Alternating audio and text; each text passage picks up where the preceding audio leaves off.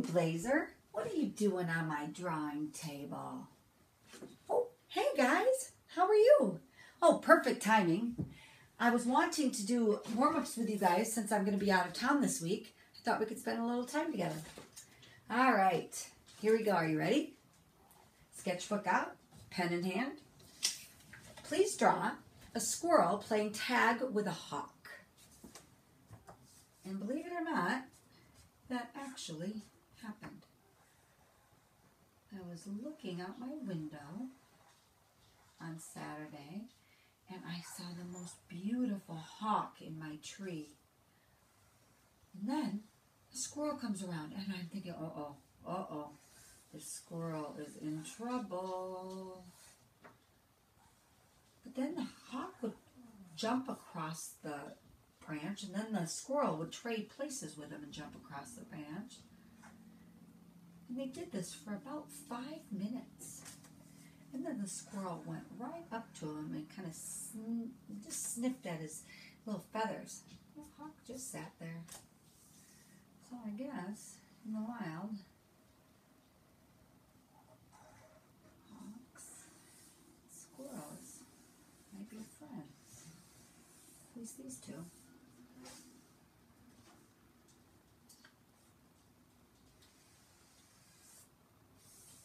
right.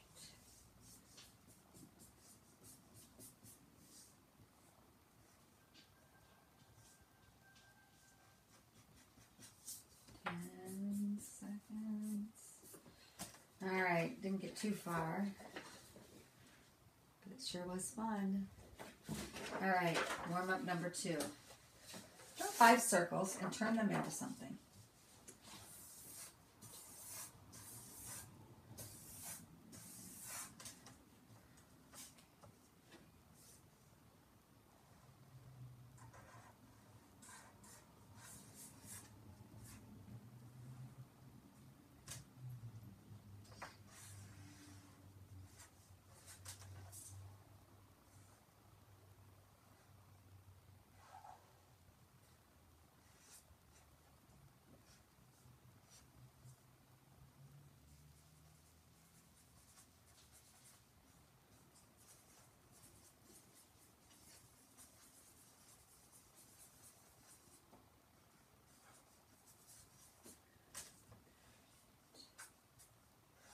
Ten seconds. My right brain is awake now, I'll tell you that.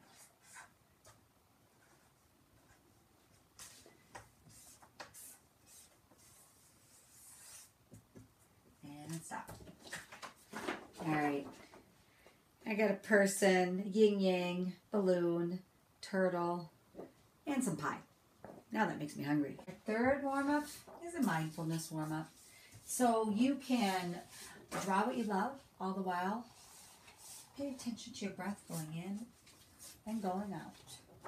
I'm going to go ahead and work a little bit more on my hawk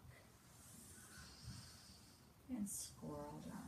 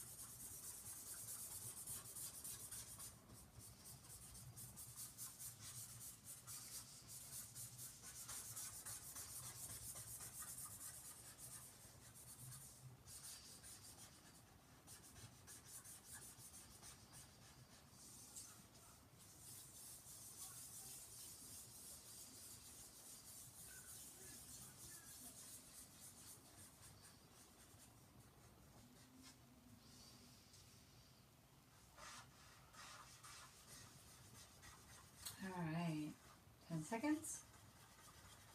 One more deep inhale. And exhale. And voila. Well, I didn't get that much farther, but I tell you what, I sure do feel better after connecting with my breath a minute.